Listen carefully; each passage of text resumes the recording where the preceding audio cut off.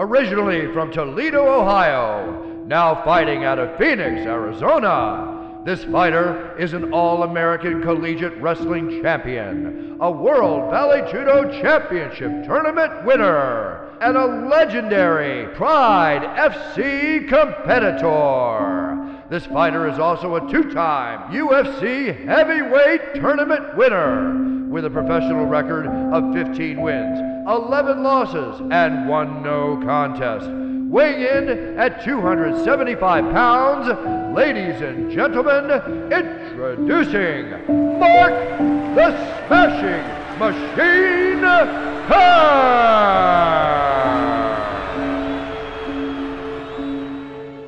One of the harder parts for me to adjust to life now is that I've lived the life I've lived that I've fought in front of 60, 70,000 people. Well, I've won world championships. I've been paid, you know, hundreds of thousand dollars to do it. And now I just live a regular life. You know, sometimes it's hard. You know, monthly I don't have adrenaline juicing through my veins. I don't have that level of excitement in my life. So sometimes I think maybe the boredom gets to me, uh, the mundaneness of, of what I'm doing day in and day out. So you know, that might be a contributor to it as well. Part of what nobody understood when MMA first started was what it took to do it. I mean, it goes back to the ridiculous where uh, you remember one of the UFC events where a guy has a boxing glove on and a bare hand? You know, that gives you an idea of like nobody knew what to expect when you're in the octagon. So part of what I was prepared to do was I didn't know what I was going to get into, but I'm going to make myself as big and as strong as I possibly can. Um, up to the age of 27, I hadn't touched any PEDs at all. Um, I went through all my Olympics, all my NCAA stuff, you know, no, taking no chemicals whatsoever. And I think part of it for me was out a little bit of the fear of not knowing what was going to happen or not knowing what was going to take place, um, I went ahead and experimented with, um, with anabolics and androgenics. You know, my first fights down in Brazil, I was on just a very small dose of an anabolic, which is different than an androgenic. Androgenic is like a testosterone. Anabolics affect more of the muscle mass. When I went into the UFC, I thought it was stepping it up a, a whole nother gear. And so my first UFC fights, I mean, I was you know, I was probably 275 pounds with, you know, 5% body fat. You know, could bench press a small car, you know, could squat, you know, a small house, you know, and it was like, it was just totally overkill. CGE didn't, you know, I, I remember uh, for my first UFC fights, they had faxed over my blood work. I forgot to bring it, and they had faxed it over. And I remember sitting across the table from the doctor, and the doctor looking at my liver enzymes. And when you do anabolic steroids and you do them in high amounts, it, it messes with your liver enzymes. And I remember him looking at my liver enzymes and just like looking at me and looking at me and looking at the liver enzymes and going, Do you realize that this is like eight times the normal amount you're supposed to have? And I'm like, Yeah. And he goes, I just want you to be aware of that. And I'm like, Okay, I'm aware of it. And that was it. You know, and you just go on and, you know, they allow you to fight. I think Pride just wanted the finished product. They didn't really particularly care how it got there. You know, they wanted you to look good, they wanted you to perform well, but they didn't particularly care if you, you know, ended up taking X, Y, and Z to get in the ring and look good and give them a good performance. They never questioned whether or not my blood pressure was too high. They never questioned whether or not my weight was too much or too little. Um, they just wanted the end product. That's it. Part of the understanding is the as I progressed in the sport, understanding that that wasn't necessary. It wasn't necessary to be you know 275 pounds a muscle that had the lung capacity of a of a hamster. You know, so you know as it progressed, it just tapered off to where you know by the end of it, I wasn't doing any anabolics at all because it wasn't even necessary uh, for the competitions.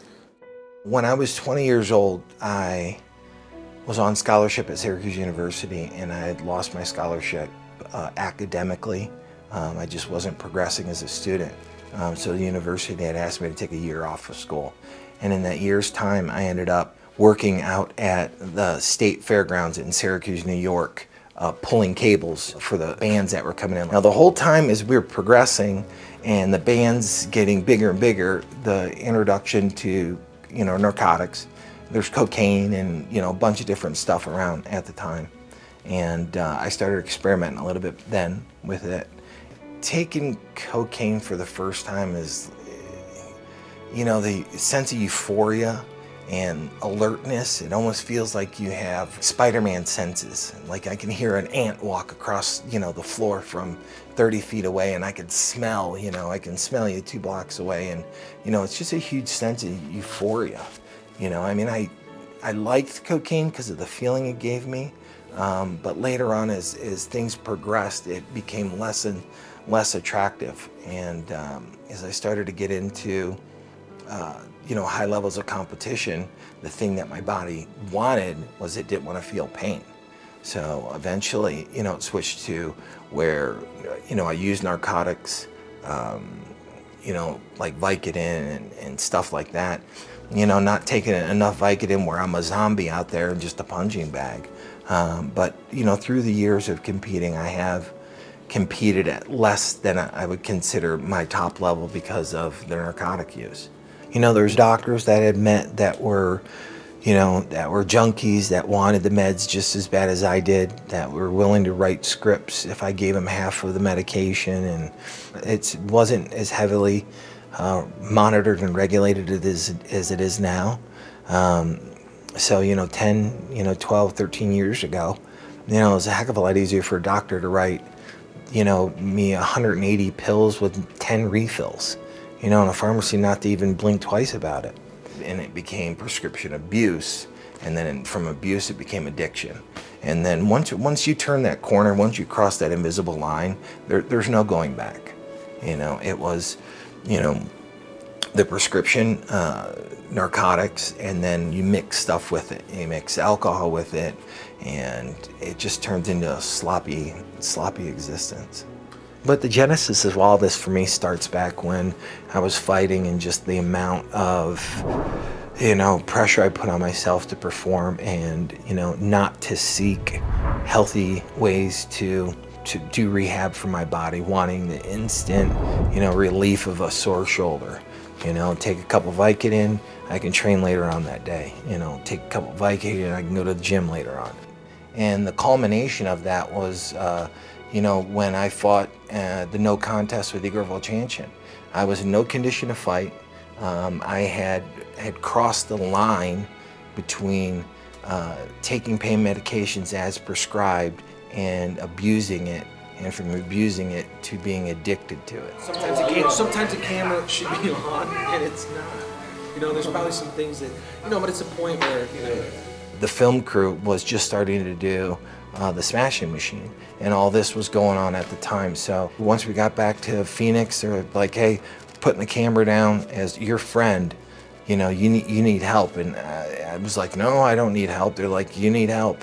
And from there it progressed into me um, understanding that i had a problem understanding that um, that it wasn't going to go away by itself um, that i needed help. It wasn't a it wasn't a single person fight. I needed people around me, a support team, um, to help me fight this disease. Explain where we're going right now. Um, this is a halfway house that I stayed in uh, for like uh, six months, and uh, it's just a transitional place. Um, you know, to help you kind of balance uh, when you're when you get newly recovered you know, from alcohol or drug addiction. You know, it's an environment where there's accountability and uh, there's, you know, people there to help support you and things like that.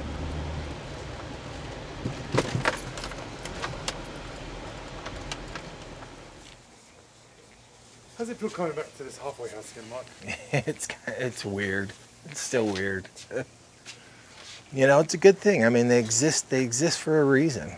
You know and they're you know that's a fine line like halfway houses are a fine line between being a tool and being a crutch you know? And You know, a lot of times if you don't, you know, work your way out from this situation, it becomes a crutch, you know, where things here are easy because you're kind of sheltered from the real world, you know. And so if you use it as a tool, you know, it'll allow you to get to the next part of your recovery. You know, if you use it as a crutch, you can stay here a year. You know, there's no time limits. you know, they'll, they'll let you stay here as long as you want you know, in your recovery, if you're, you know, if you're full of shit, you know, you, you had somebody there to tell you you're full of shit. You know, if you did, if you're not doing what you're supposed to be doing, you had somebody there to call you out on it. You know, and um, you know, just like with fighting and wrestling and all that stuff, it works much better with a mentor. You know, same thing with recovery. You know, it works much better when you have somebody that has made it through the hard parts of recovery. And it's a fight. I mean, you know, any kind of addiction wants to kill you. It doesn't matter if it's bulimia, doesn't matter if it's anorexia, it doesn't matter if it's gambling, you know, whatever the addiction is, the end result, it's, it's, it's, that's why they say most, all diseases have a pathology. They have a beginning, you can trace it, and it has a distinct pathology, and at the end of all that pathology is death. You know, alcohol wants to kill you, you know, all this wants to kill you. It's just the way it is. So you said you was homeless on the streets for a little bit, or? Yeah, um, they have another house called Sarayan, which is in Mesa. And um, when I told them that I'd have the uh, rent due, I didn't have it. And immediately it's, you have to get out of the house. So there was about uh, two weeks where just trying to figure out what to do next. You know, and then a buddy of mine that lives out in Mesa, um, finally I got frustrated enough and I said, okay, I need to ask for help. You know, and I had called up my uh, friend of mine named Darren and I just said to Darren, I need, he's like, buddy, just, you know, grab whatever you need to grab. Come on over. I got a place for you to crash. And you're sleeping in a car? Sleeping in that car. Yeah. You guys are in the back seat. There's enough room, right? Pretty big dude, though. yeah. you got to open the windows. Do you, want to, go to your uh, your car lot where you work? Yeah, come on. Every time they entered the ring, you know, I had a routine and it was a lot of this shaking and it was a lot of this jumping and getting ready and shaking your legs out. You've already gone through your pre-warm up, you know, and part of, uh, part of coming into work, sometimes you can get in that same mentality, you know, where I'm coming to work and, you know, I'm shaking out, I'm getting ready, I'm jumping and getting ready to get in the ring. Almost every single fight that you've ever seen even in the ring, I'm sitting there shaking out and shaking out and shaking out and jumping, doing these little jumps, getting ready to fight. And it just keys your body into knowing. And so here at work, you can key yourself mentally, because obviously I can't beat customers up, but you can cue yourself in mentally that it's a little bit different war. It's an emotional, uh, it's an emotional war. There's nothing in your day-to-day -day life that's going to replace the adrenaline that I felt when, before I got into the ring. So you look for other things that might be able to do it. You know, one of the things is when you make a good sale and say you make a commission that's a $2,000 commission that's going to pay you. Sometimes there's adrenaline doing that, you know, but that doesn't happen often enough. you know, for me, I have uh, regrets. You know, regret regret um, selling cars to feed my family is not one of them.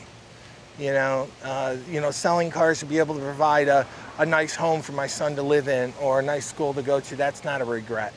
You know, obviously, do I think that my talents could be directed someplace else and I could be more beneficial? Yeah. You know, I feel like sometimes doing anything other than wrestling or mixed martial arts or something around that, it feels like I'm a fish out of water. You know, I have 30 years of knowledge in my head of stuff, how to train, how to get ready for events, techniques, you know, wrestling techniques, jiu-jitsu techniques, sambo, judo technique. I have all of this information, just not the proper format to share it in. So sometimes I feel maybe not regret that I'm working here, just kind of, uh, you know, feel like I, that my talents are gone unused. You know, I think that's a better way to describe it.